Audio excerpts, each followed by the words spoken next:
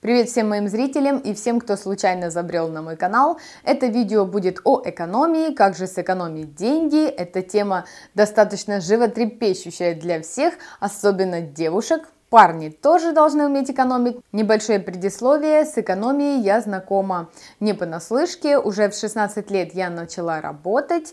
И не потому, что была острая в этом необходимость, а потому что я сама приняла решение, что не хочу просить у мамы деньги на то, чтобы ходить на дискотеки, где-то в кафешке посидеть с друзьями. Я также занималась профессионально бальными танцами, а на это нужно было сказать много денег, это вообще ничего не сказать и убирала, и на акциях стояла, и мерчендайзером работала, и в садике работала, и танцы преподавала. Очень много всего успела перепробовать еще в достаточно юном возрасте. Потом уже позже были более какие-то глобальные должности, но сейчас не об этом. Экономить нужно уметь с раннего возраста, и на своем опыте личном я это точно поняла. Сейчас я уже замужем, у меня доход, у мужа доход, но бюджет у нас общий, и есть у нас определенные какие-то критерии, пункты, правила, как мы тратим деньги, как мы откладываем, копим на что-то, на чем экономим и как, и так далее. Первое, что я не делала ранее, мы записываем все наши траты. И не думайте, что это делается для того, чтобы жена контролировала расходы мужа или муж контролировал расходы жены. Нет, это делается для того, чтобы мы оба четко понимали, на что у нас уходят деньги, э, сколько нам нужно на еду, сколько нужно там на одежду, сколько мы можем, имеем возможность откладывать в месяц, на чем мы экономим, на чем мы, скажем так, лучше бы поэкономили. Вся вот эта вот картина, она более ясная и четкая, когда она прописана. Все чеки из магазинов мы складываем и в конце месяца проверяем, потому что частенько получается, что ты вроде бы как думаешь, что к концу месяца 500-600 гривен точно остается, а потом, когда в кошельке 100 гривен всего в конце месяца, ты думаешь, Куда же, куда же они улетели? И вот эти чеки, они помогают вспомнить, что ты где купил, на что потратился и почему именно такая сумма у тебя осталась. Второй пункт, который мы четко для себя определили – Экономить, не жадничая. Я думаю, вы слышали уже фразу, что скупой платит дважды. В этом мы тоже уже убедились. Лучше приобрести вещь подороже, покачественнее, она и прослужит дольше, и носить ее будет более приятно, чем более дешевую вещь. В более юном возрасте я, конечно, предпочитала покупать э, там две кофточки подешевле, чем одну, но подороже, потому что две кофточки ты можешь менять, и каждый день у тебя разный образ, раз, но в то же время через там 4-5 стирок эти кофточки уже умирали, и их вид был не очень хороший, в них уже выходить никуда нельзя было, а более дорогая вещь и служит долго, и выглядит красиво, качественно, сейчас я, конечно, предпочитаю этот вариант. Часто совершают ошибки, пытаясь экономить на обуви, покупая более дешевую, несколько пар, чем одну более качественную. Тут также на своем опыте могу сказать, что действительно лучше подкопить, если необходимо, если нет э, возможности сразу купить более дорогую обувь, чем покупать несколько, но дешевых. Помимо того, что более дешевая обувь э, и выглядит похуже, и служит недолго, она еще и негативно влияет на наши стопы, портит походку и на позвоночник влияет. Я, кстати, со своими проблемами с позвоночником очень сильно на себе это ощутила, и теперь я так не рискую.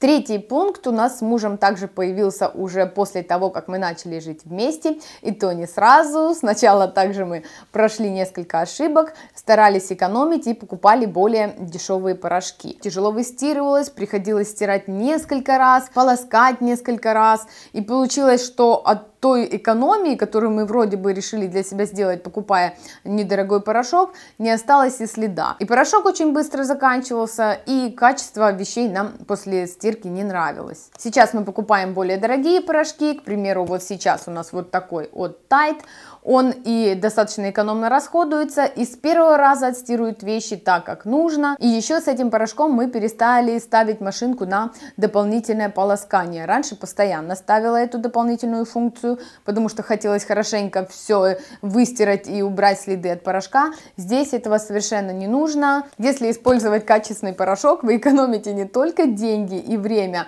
а еще и вашу нервную систему, потому что э, я помню, когда, не помню уже каким порошком, неважно, я постирала новый свой свитшот, дорогой, хороший свитшот, и после стирки он был неносибельным, нервная система моя точно пострадала.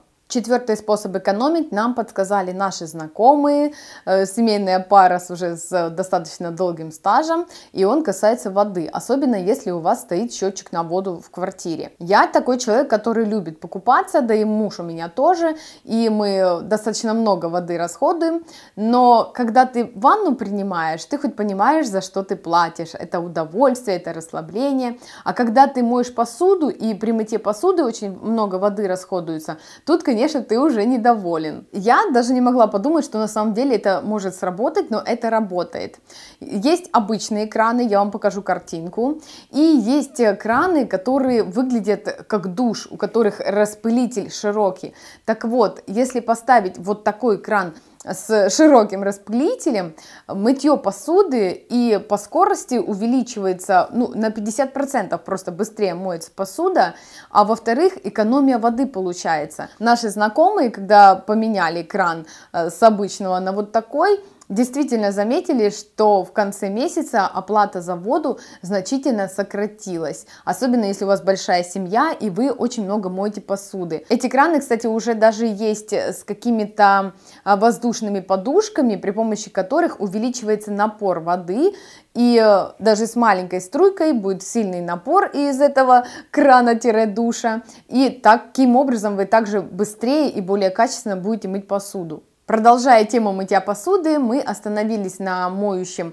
э, от Фейри. Нам нравится и как он расходуется экономно и как он очищает посуду. Я человек, который терпеть не может разводы. Я не говорю о грязной посуде. Понятное дело, что когда ты поел, посуда будет грязная. Но после того, как ты ее помыл, она должна просто блистать. Вот у меня есть такой пунктик. Посуда должна быть идеально чистой и никаких разводов. Вот с более дешевыми средствами разводы остаются. И я потом начинаю перемывать, перетирать. И средства много уходит. А здесь и расход вот маленький, экономный, и действительно с первого раза посуда отмывается очень хорошо. И у нас фейри, и у мамы моей, и у моей сестры фейри, только ароматы у всех разные. И у родителей мужа, также вот мы недавно были, они также используют фейри. К тому же Procter Gamble старается их усовершенствовать, вот это уже до двух раз гуще консистенция. Ну, короче, экономить надо разумно, грамотно, и так, чтобы и на вашей семье это не отражалось.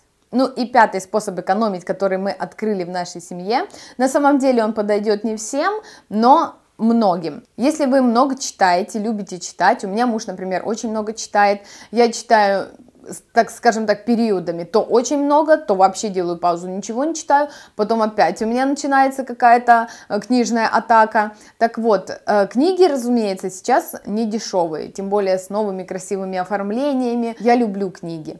Но когда ты глотаешь эти книги буквально за ночь, и тебе уже нужна еще одна, а иногда мы умудряемся по несколько книг одновременно читать. В этом варианте поможет э, электронная книга «Читалка».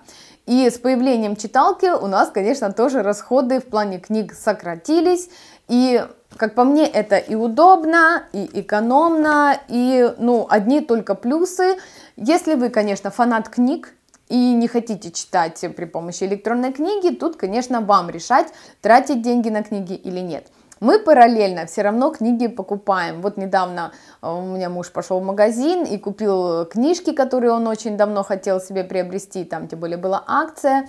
Но Основную часть, основную массу книг мы закачиваем на электронную книгу. Тем более некоторые книги можно скачать в интернете бесплатно. А если их покупать, на некоторых сайтах электронные книги покупаются, все равно это в разы дешевле, чем купить книгу в магазине. Я думаю, это видео я закончу на пяти советах. Если вам понравилось это видео, обязательно ставьте пальчики вверх, пишите комментарии, и я сниму продолжение, потому что э, способов экономить в нашей семье и вариантов у нас еще очень-очень много. Есть и очень прикольные, интересные, кому-то они подойдут, кому-то нет, но для нас они работают, и мы их регулярно используем.